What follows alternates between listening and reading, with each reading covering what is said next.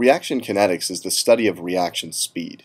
We saw in the last webcast that reaction speed is controlled by the energy difference between reactants and transition state. It's also controlled by the concentration of reactants. The greater the concentration, the faster we would expect the reaction to proceed. One kinetic model for the hypothetical reaction we dealt with in the last webcast is shown here. We would expect the rate of formation of D to be proportional to the concentration of C. The proportionality constant we label as K2 because it's related to the second step of the reaction. Now importantly, this is the rate expression that actually governs the rate of the reaction.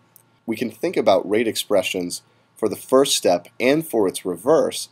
However, these are unimportant because A plus B to C is a very fast step in the reaction. The primary difficulty with representing the rate law in this form is that it's very difficult to measure C. Thus, it's difficult for us to predict the rate of formation of D just using the concentration of C as an independent variable. We need to transform C into a more easily measured quantity.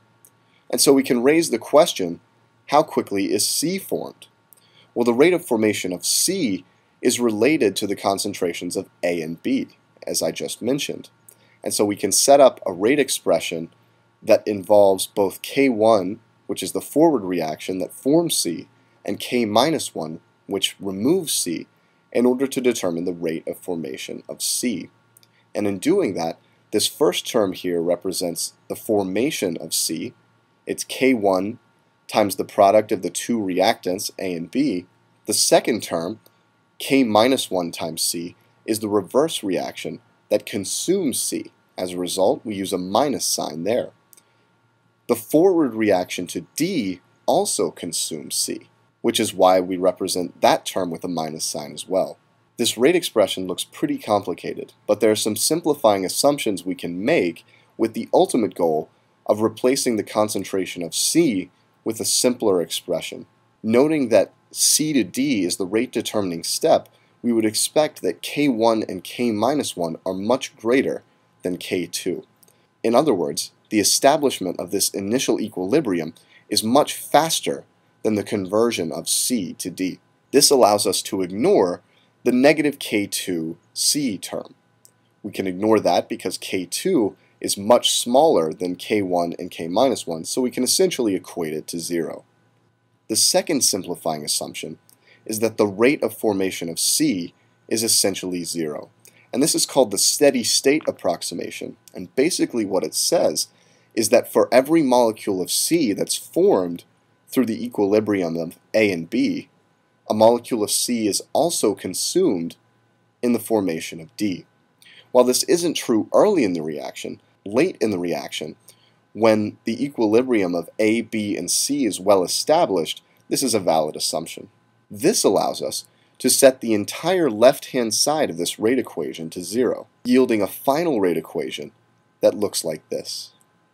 Now, with the rate of formation of C out of the equation, we can simply equate C to some function of the easily measurable concentrations, A and B, and then substitute that in to the original rate expression up here. This accomplishes our goal of removing C from the rate law and replacing it with easily measurable quantities. Continuing on with this, doing some algebraic manipulations gets us to this expression. We can note that the ratio of the forward rate constant and the reverse rate constant is simply equal to KEQ, and this is a fact that you should keep in mind when thinking about kinetics. And the expression on the right-hand side is simply the equilibrium expression that we would write out for the conversion of A and B to C, products over reactants. Thus, we can do some rearranging to finally get that the concentration of C is equal to KEQ times the concentration of A and the concentration of B. We then substitute in the right-hand side of the equation, and we've accomplished our goal of replacing the concentration of C with an expression involving only the reactants, A and B. Thus, as a final conclusion here, we would predict that the rate of formation of D is proportional to the concentration of A and the concentration of B. This is an example of second order kinetics. because the sum of all the exponents in the rate expression is 2. You might be wondering why we went to all this trouble to compute the rate equation for our hypothetical reaction. And the answer is this really completes our understanding of reaction kinetics. The rate law brings into play concentration, which is just as important as energy in thinking about the kinetics of a reaction. We often know the concentration of starting materials and want to predict, based on those known concentrations, the rate of the formation of product. We can do that using the rate law we derived in this webcast.